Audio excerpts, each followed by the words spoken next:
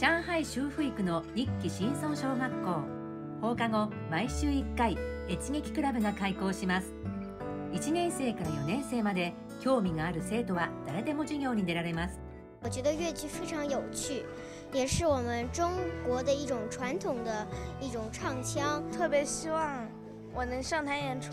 天上掉下个林妹妹。越劇は浙江省で誕生し、上海で流行したため、両方の方言が混ざっています。普段標準語で話す小学生にとって、越劇の発音は難しいです。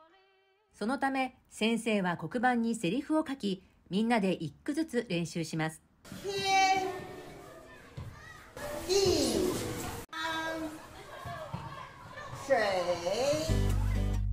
空、山、水などを表現するにもそれぞれ決まった仕草があります。うまくできるまで繰り返し練習します。指導する周風越劇団のハン・アケン団長は指導は大変だけれど越劇を教える機会があって嬉しいと話します。我们在小花身上培训，带动了他们的家长。他们家长是都是应该说白领的，都年纪比较轻的。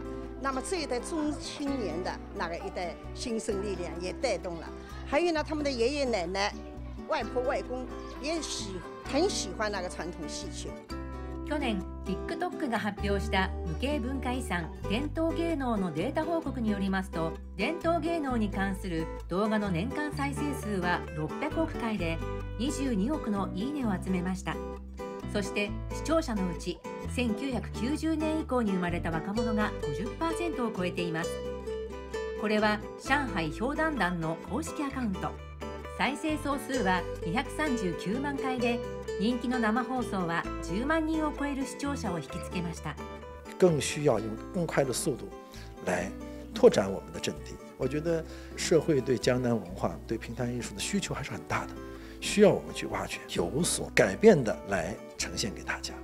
今天就来聊一聊评弹作品当中才子佳人的爱情故事。 若者のファンを増やすため上海氷団団は3年前から3ステップ計画を始めました。最初の一歩はまさにオンライン進出です。毎週金曜日の夜7時20代の俳優たちは生放送を始めます。衣装ではなく洋服を着て流行語を混ぜながら分かりやすい言葉で物語の紹介や歌い方を説明します。抓住可能青年人喜欢时事热点，先吸引到青年人，然后到我们的直播间来。我们两期直播以后啊，到线下剧场里面啊，来了好多青年。劇場に現れる多くの若者は評談を活気づけています。越劇を一層普及させるため、上海評談団は2歩目を踏み出しました。劇場から出ることです。書店、喫茶館、ショッピングモールなど若者が集まる場所と協力して講演します。例えば1925書局で「生成マン」を歌います。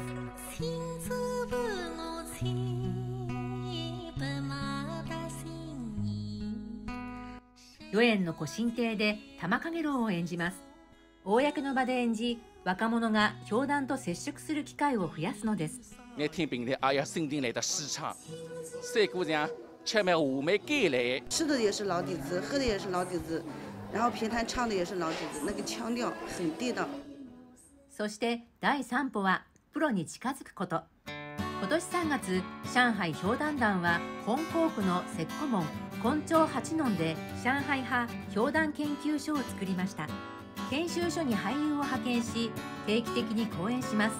そして教団に関する直筆の原稿と歴史的文献を展示し本物の雰囲気の中で伝統芸能の本質を見せようとしています。